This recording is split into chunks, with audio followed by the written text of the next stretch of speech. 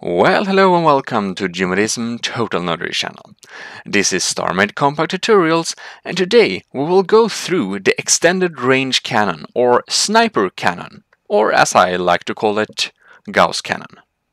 This cannon has much slower reload speed, but also damage much more per shot. The range of the cannon is the second most long-range weapon in the game. It does depend on the server settings, but with my settings, I think it's the default, the range is 6000 meters, 6 kilometers. Why having Gauss cannons on your long-range builds? Well, because of this.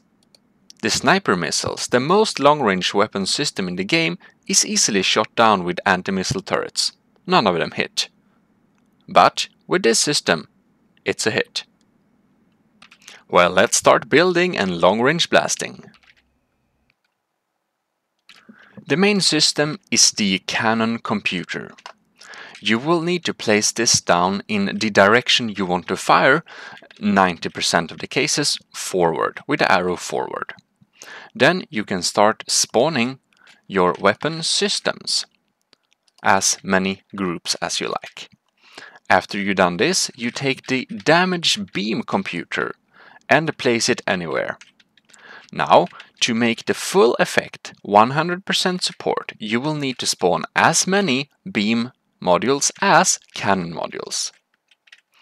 Now, select the cannon computer and hook up the beam computer using C and V buttons, or if you have it mapped to somewhere else on your keyboard, you can check out your key bindings. If we now go inside the weapons menu, you can drag down your system here.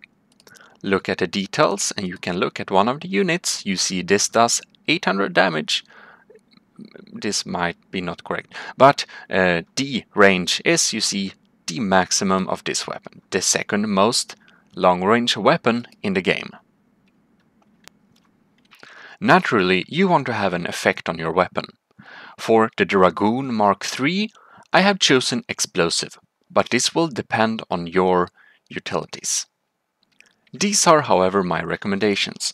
If your weapon system's size is limited but you want to boost the damage radically, you can use the overdrive effect as your choice of effect. That will radically increase energy consumption but also increase weapon damage. However, if you like it to destroy armor easily, the piercing effect is great for this thing. If you're facing big targets, either the punch through effect module or the piercing effect is very good to make deep damage on your target.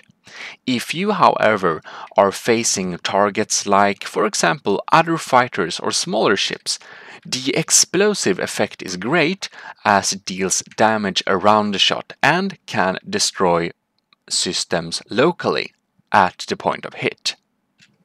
To connect a system like this up, select the main computer, the Cannon computer. Select your system of choice and spawn as many as the main systems to get 100% support. Less percent support is also possible, but then you will get less of the effect which can be preferable at some times. So in conclusion, if you want to have the extra edge over armor, choose the piercing effect. If you have loads of energy but limited size, like if you use this system on turrets, overdrive is great. If you want to create local damage on other fighter, explosive is your choice. But for this time to deal deep and savage damage to the systems, we will go with the punch through effect have the main computer selected and hook up the system of choice. Now we go here and I show you the effects. One shot. And here you have it, some savage penetration. Well, I hope you have enjoyed this tutorial indeed, and I hope I will see you in future videos.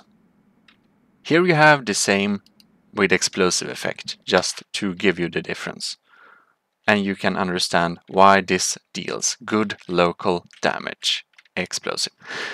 Anyways, thank you very much for watching, leave a like if you liked it and keep yourself updated for coming tutorials. GMODISM Total Nerdy Channel, thank you for watching.